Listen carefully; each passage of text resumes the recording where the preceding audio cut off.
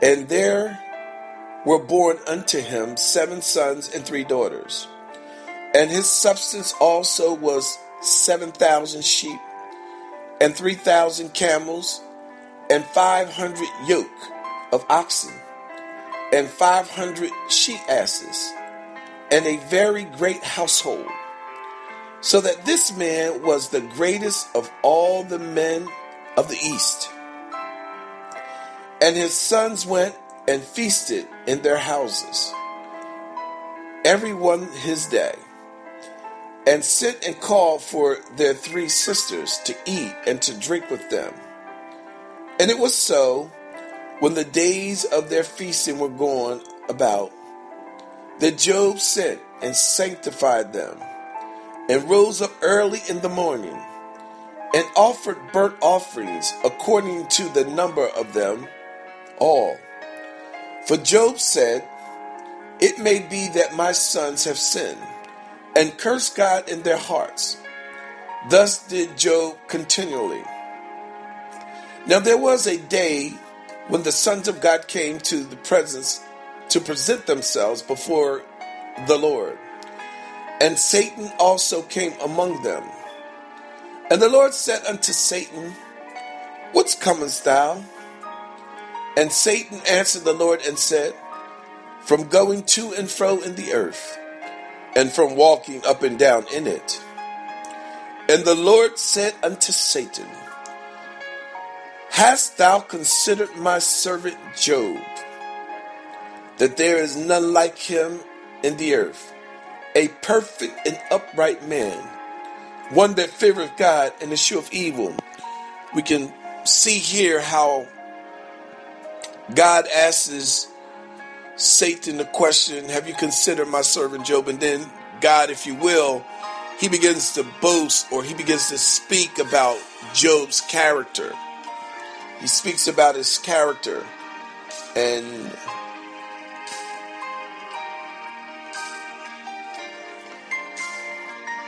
Then Satan answered the Lord and said, Doth Job fear God for naught? Hast thou not made a hedge about him and about his house and about all that he has on every side? Thou hast blessed the work of his hands, and his substance is increased in the land. But put forth thine hand now and touch all that he has, and he will curse thee to thy face. Now, here, I want you to pay attention. I'm going to move kind of quickly through this. But now, at this particular point, if you notice all the things that we've been talking about in mixed signals, they were all attached to things. See, in the flesh, people in the flesh and things of the flesh, and Satan and the devil, they can only attach to things of the flesh because this is what this is what draws people.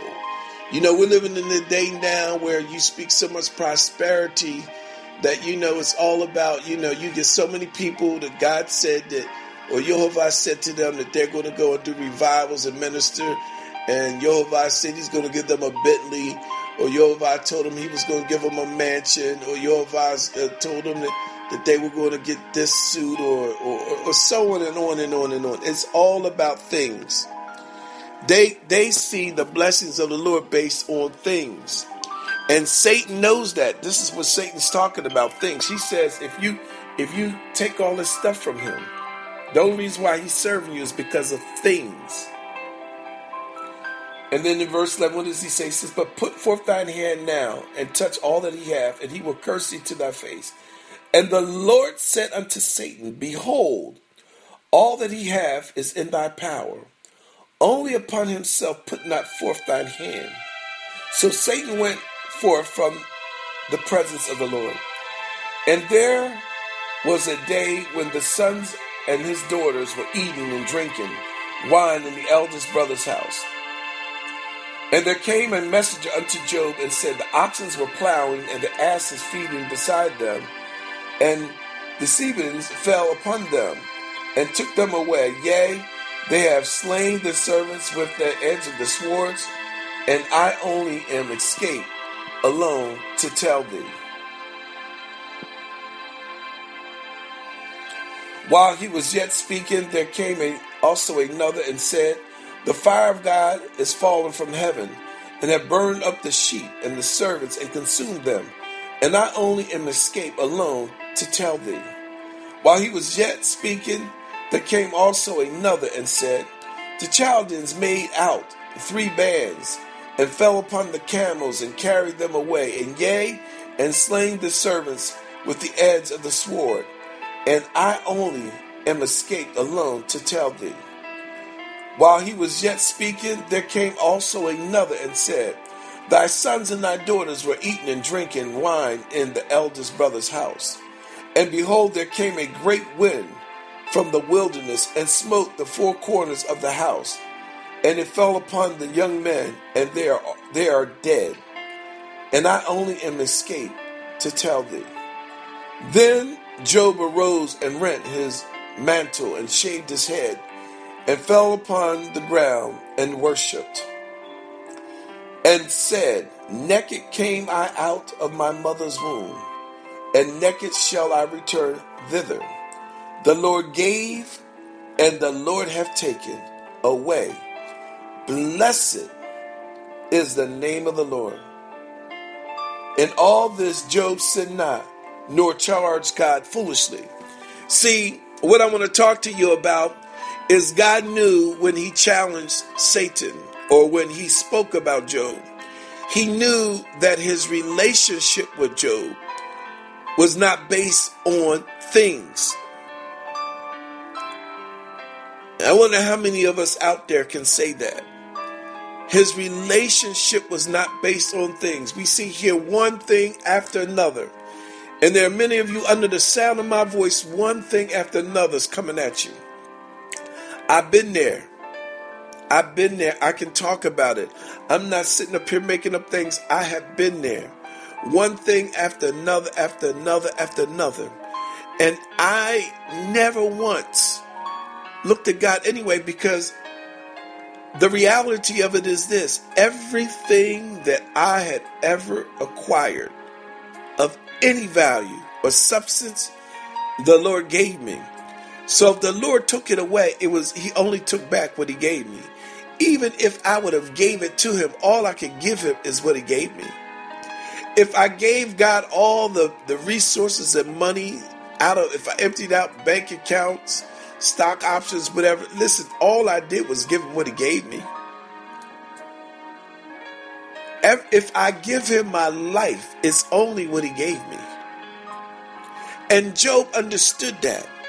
See, relationship is the most important thing that Jehovah is wanting you to get because if you get a relationship, if your relationship, if you get an intertwined, intimate, unconditional relationship with Jehovah, you won't have to worry about mixed signals, beloved. My brothers and sisters, you won't have to worry about it. I challenge you in this. See, let's just use for an example an anniversary or a birthday. I don't celebrate a lot of the pagan holidays, but if the the your your wedding anniversary is the event, it carries with it all the ambiance. Uh, you know, the your wife she has on the woman you have on a gown.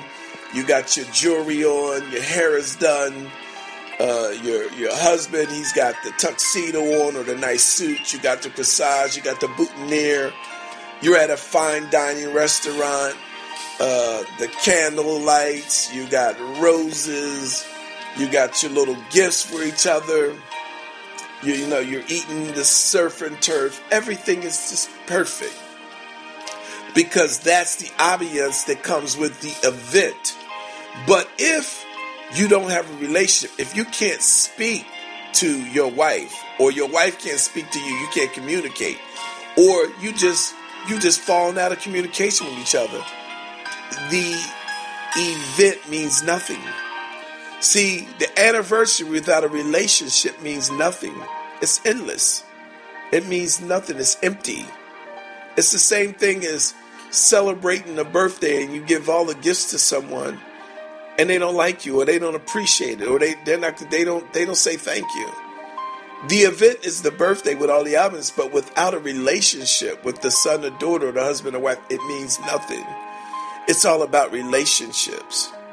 And this relationship will cause you not to go in error or to go sidetrack because you're speaking one on one and you're dealing one on one with Jehovah. You can't be tricked or you can't be um, sidetracked by things. You can't you can't be sidetracked by things because things come and go. And this is what Jehovah is saying to us tonight. He's beckoning you to take your relationship even deeper. Jehovah has needs for you, man, woman, young man, young lady. Jehovah desires to have you. It's not about things, it's just a relationship. See, we're going to leave out of here. Heaven and earth will pass away, but His word will remain forever. Listen, what we do for Jehovah, that's the only thing that will last. And so it's important tonight that we get a hold of that. And you're going to find out, I know what it's like, beloveds. See, when you go from one thing to the next to the next thing, if we read further, his wife tells him, Why don't you curse God and just die? And he says, Thou speakest like a foolish woman. We know his three friends begin to come around and they begin to talk about, you know, you must have done something wrong. You must be in sin with all this stuff that is going on with you. And I'm going to tell you, I know what that's like. There are many of you out there that the Lord brought you off your job. And you may be friends with people, all they know how to do is work.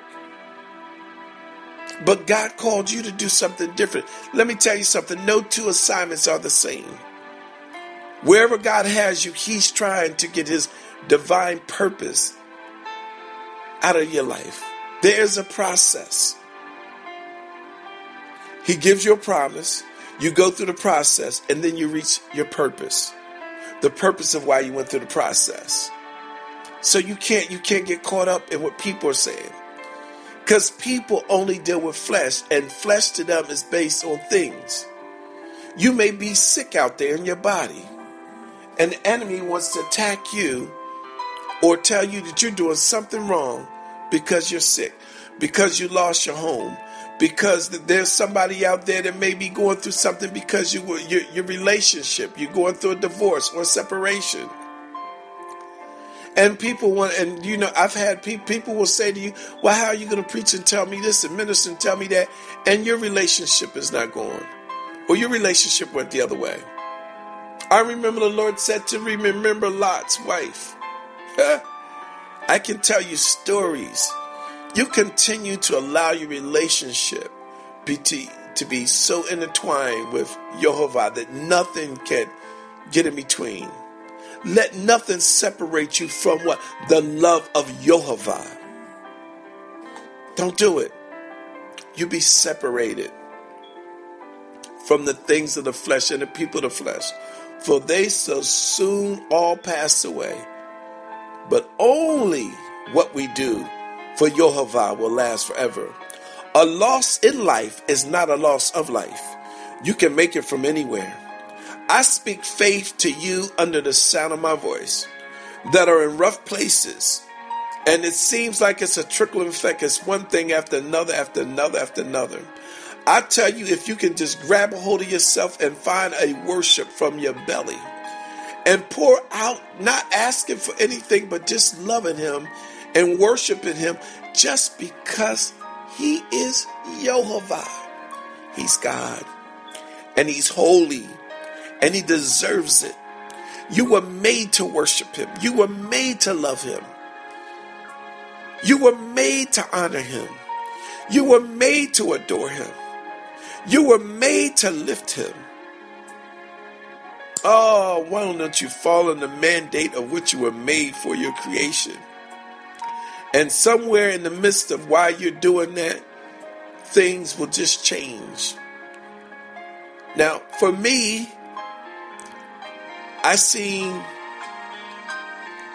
or experienced the more than enough, where he just came and just just did things, and but that didn't mean anything to me because I've learned not to hold on to anything, to wear it loose, because things are just things, they come and go. It doesn't mean anything.